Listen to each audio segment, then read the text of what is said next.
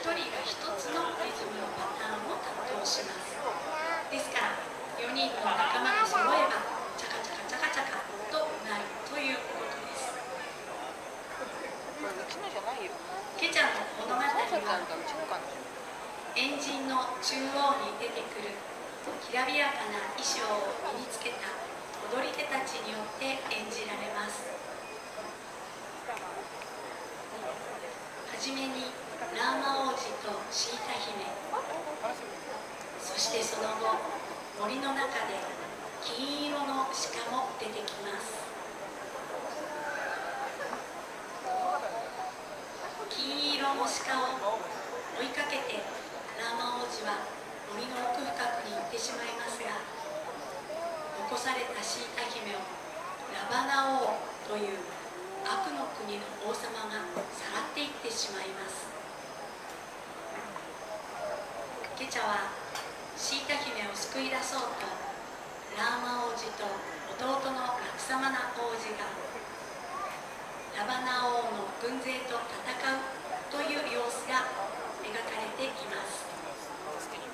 途中でさまざまな動物たちも出てきますのでどうぞごゆっくりご覧ください。